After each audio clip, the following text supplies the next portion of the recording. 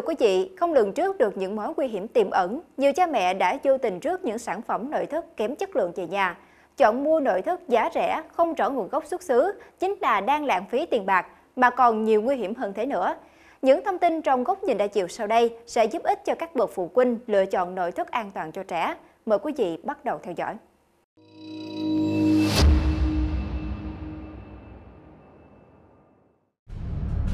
Nôi giường nằm, ghế tập ăn, xe tập đi, bàn học và một số những đồ nội thất khác đều đang được sử dụng khá phổ biến ở những gia đình có con nhỏ. Theo chuẩn quy định, các loại đồ nội thất này phải được làm bằng chất liệu tốt, đảm bảo an toàn sức khỏe cho trẻ.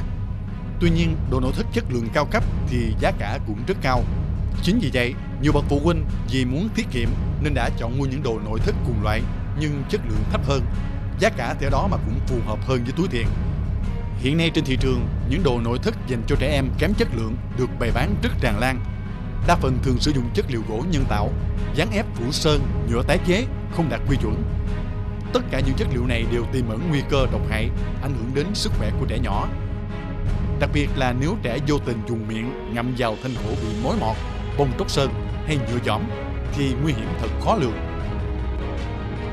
Theo thống kê tại bệnh viện Bạch Mai, mỗi ngày có đến 30 ca ngộ độc chì được cấp cứu với các biểu hiện nôn, co giật, mất tiếng, liệt mắt, hôn mê. Hầu hết các ca này đều do bị nhiễm phải nồng độ chì trong máu vượt mức trên 0,3 ppm. Một trong những nguồn hiểm họa ngộ độc chì chính là do nguyên nhân sử dụng đồ nội thất kém chất lượng. Hiện nay có đến 90% người tiêu dùng không hề biết đến sự độc hại trong các đồ nội thất kém chất lượng đang trôi nổi trên thị trường. Bên cạnh đó, còn có các mặt hàng tự gia công tại các cơ sở nhỏ lẻ, không qua dây chuyền sản xuất hiện đại, nên rất khó kiểm định được chất lượng. Ngoài ra, để nội thất có độ láng bóng, nhẵn mịn, sản phẩm mau khô, ít rạn nứt và lên màu đẹp mà vẫn tiết kiệm chi phí, nhiều cơ sở nhỏ lẻ thường sử dụng các loại sơn chứa chì để sơn phủ lên sản phẩm. Nồng độ chì càng cao thì màu sơn càng bắt mắt.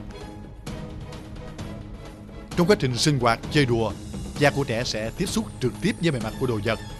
Chính vì thế, nguy cơ bị thôi nhiễm chì từ các loại hóa chất bảo quản, sơn phủ lên cổ là rất lớn mà cha mẹ không hay biết. Phần lớn trẻ bị ngộ độc chì mãn tính thường có biểu hiện bệnh rất kín đáo, dễ bị bỏ sót khi chẩn đoán như biến ăn, xanh xao, mệt mỏi, ít chơi đùa, chậm phát triển trí tuệ, học kém. Bệnh thường chỉ có thể phát hiện thấy khi khám chuyên khoa kỹ lưỡng. Bên cạnh đó, những loại đồ nội thất kém chất lượng thường không có quy trình sấy khô, không đạt chuẩn, nên trong quá trình sử dụng thường bị mốc, gây ảnh hưởng nghiêm trọng đến hệ hô hấp của trẻ. Nhiều sự lựa chọn, nhiều phong cách nội thất khác nhau dành cho con mình khiến cho ai cũng ham tậu về. Tuy nhiên, mặt trái của điều này là sự xuất hiện tràn lan nội thất kém chất lượng, không rõ nguồn gốc xuất xứ, với mức giá rẻ hơn nhiều so với các sản phẩm cùng loại khác. Tiềm ẩn trong chúng là chất độc hại gây ra tổn thương trong quá trình trẻ sử dụng. Tiếp tục sau đây là những cảnh báo của chuyên gia. Trong văn phòng hoặc là trong gia đình mình thì những cái vật dụng à, thường là có những cái độc chất à, như là à, formaldehyde như mình thấy hoặc là benzen, ammoniac thì những loại này nó thường có trong những trong những cái loại đồ gỗ nội thất đặc biệt là thường là mình dùng bằng sơn sơn mài là chính rồi đặc biệt là trong những cái văn phòng thì là nó có nhiều trong những cái mực in à, giấy hồ dán nè. Rồi trong những cái loại máy bộ phận của máy tính thì nó có những nhiều cái độc chất này.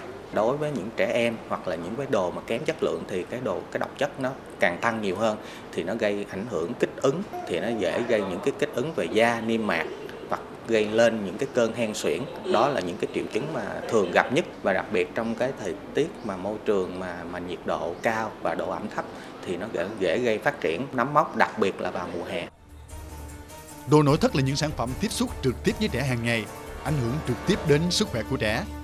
Chính vì thế, các bậc cha mẹ nên trang bị kỹ những thông tin cần thiết khi lựa chọn những sản phẩm trong gia đình. Cách tốt nhất là chọn các sản phẩm từ những thương hiệu nội thất uy tín, có chất lượng, đảm bảo nguồn gốc xuất xứ rõ ràng. Đừng vì tham rẻ mà tiền mất tật mang. Lưu ý chọn mua đồ nội thất an toàn cho trẻ. Kiểm tra kỹ độ chắc chắn của các chi tiết trên sản phẩm như tay nắm, chân ghế, bản lề, thanh tay trượt, chân giường, thành giường. Nên đà bàn tay lên khắp bề mặt của toàn bộ sản phẩm để kiểm tra độ láng mịn nhằm đảm bảo sự an toàn tuyệt đối cho trẻ.